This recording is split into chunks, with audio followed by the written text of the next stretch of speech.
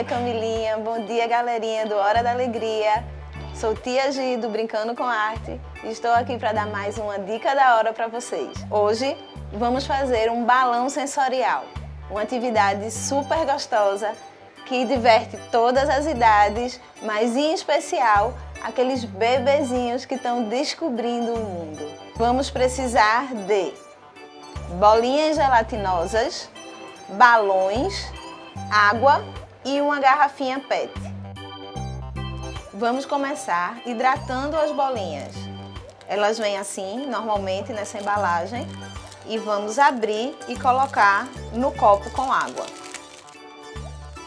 Para essa quantidade eu vou usar duas embalagens.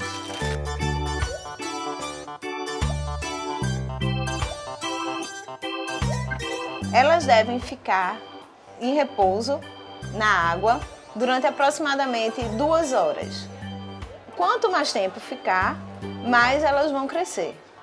Passadas as duas horas de repouso das bolinhas hidratando, quando elas já estiverem nesse ponto que a gente mostrou, que por si só já é uma deliciosa brincadeira, a gente vai encher um balão para poder a gente apertar, manusear e ela não quebrar, porque são bem frágeis. Então, como a gente vai conseguir encher esse balão é a grande dica que eu vou dar. Vamos pegar a garrafa e colocar todas as bolinhas já hidratadas dentro da garrafa.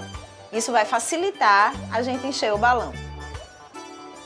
Caso tenha alguma dificuldade, podemos criar um funil com um papel ou um emborrachado para facilitar a colocação. Agora que a nossa garrafinha já está cheia, a gente vai encher a bola.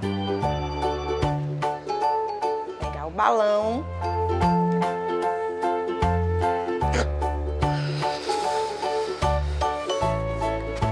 Enchemos o balão e vamos torcer para não sair o ar. Com ele torcido, a gente coloca na boca da garrafinha e podemos soltar distorcemos o balão e viramos a garrafinha de cabeça para baixo.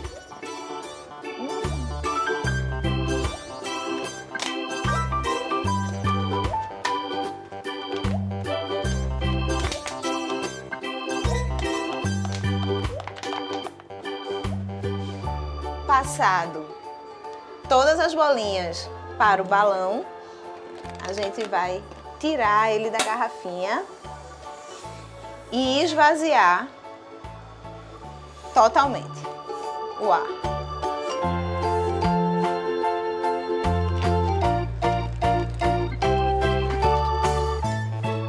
Torcemos, damos um nó.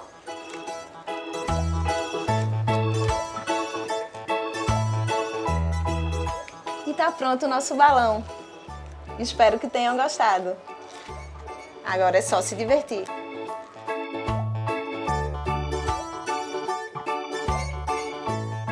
Valeu, Camilinha. Valeu, galerinha. Espero que tenham gostado e até a próxima.